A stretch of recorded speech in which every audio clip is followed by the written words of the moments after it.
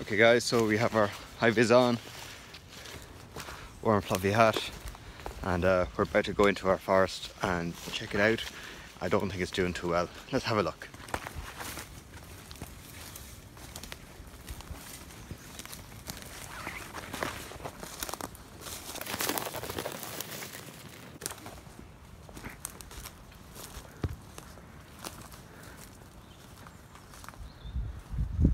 It's all planted in rows.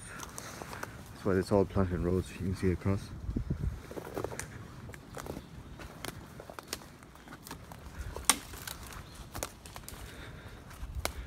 Okay, it's not doing too well. You can see the ash dieback is coming into it. So you always see it on the skinny ones.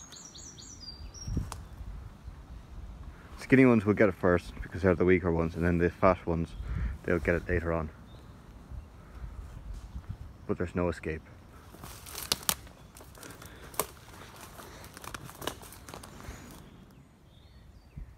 So here we are in our forest and it has ash dieback. So the way you know ash dieback is you can see this tree here.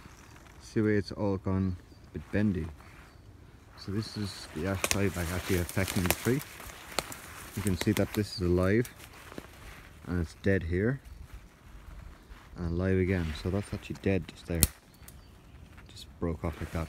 So there's no moisture left in that tree part that's just completely dead. And this is tell this is 100% typical of ash dieback. You can see that these curves like this. All up. So there's another one. These curves again. Where if we look at a more healthier tree, maybe one like this, you can see that there's no little twigs coming out. So what's happening is it is actually ash dieback, so it's dying back at the top. So that piece here is say dead from there up, and this tree here will now try to become bushy. Here's another one just like it. So telltale signs are the weaker trees. So these are the smaller ones this way. So that, like these are maybe more healthier ones, but these are more skinnier ones. So you'll definitely see it on the skinny ones because they're the weaker trees, and the weaker trees will be affected first. The other thing that you'll spot is there's not a lot of this growth. These are all nettles that have lived and died, and there's more nettles growing on.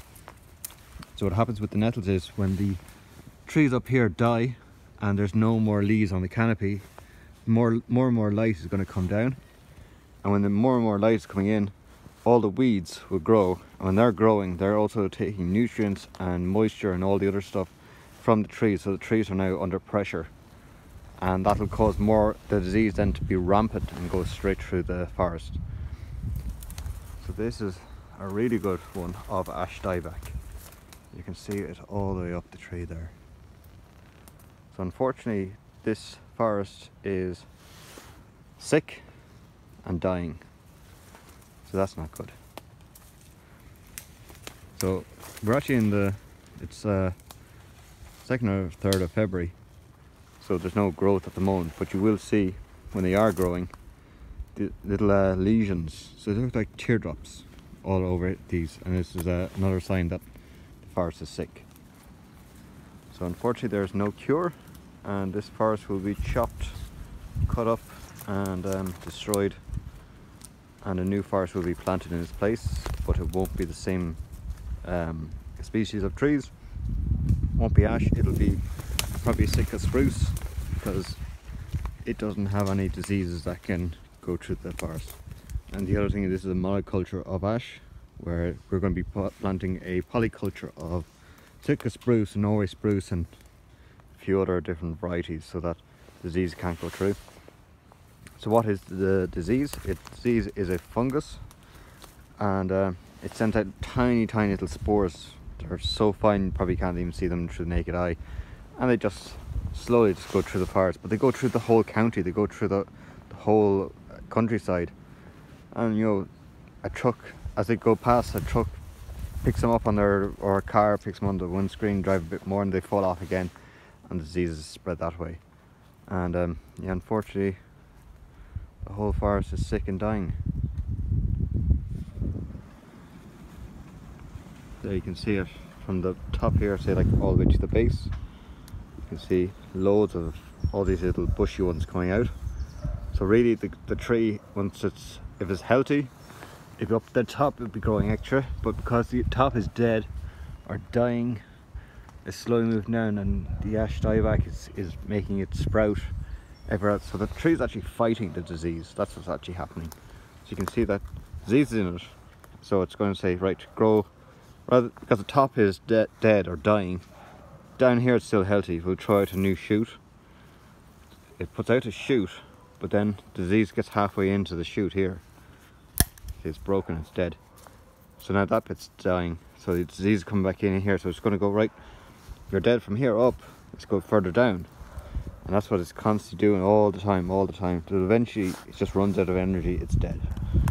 But at that stage, if, if you're only spotting your fires at this stage, it's a bit late. But like, that's one tree and like, there's a, there is a lot of good, healthy ones still around it.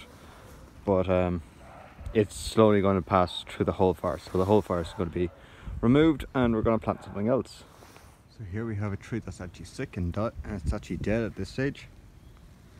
So there's actually uh, no leaves or bark that's healthy left on it. And um, so why don't you just leave the trees the way they are? Maybe like they'll recover. And that is true, but you might get out of 10,000 trees, you might get one tree that's actually resistant. Or maybe out of a million trees, you get one tree that's resistant. Some more of it. So um, yeah, it's very unlikely that it'll actually live or survive. But the other thing is, they're actually dangerous now. So like these trees, this one here is small, but there's other ones that are far bigger. And um, I'm going to show how easy it is to push them over.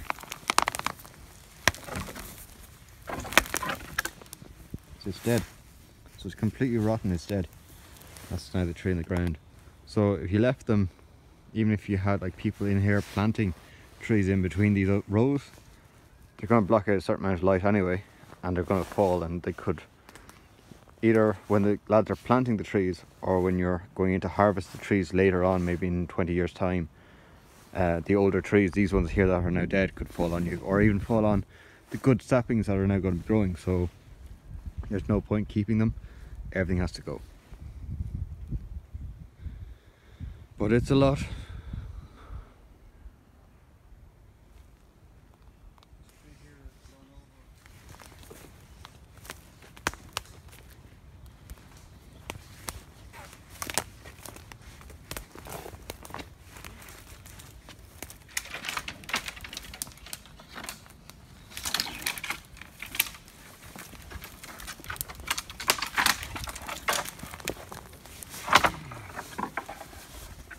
No root at all on it.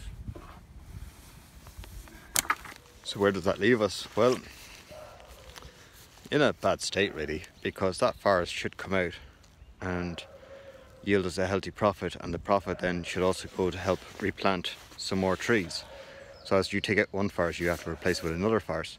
And um, yeah, we have a dead forest, so we're not going to make much money out of it. So thankfully, we can get a grant, but the grant just barely covers us.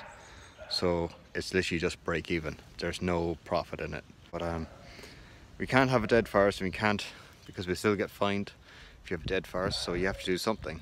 And um, yeah.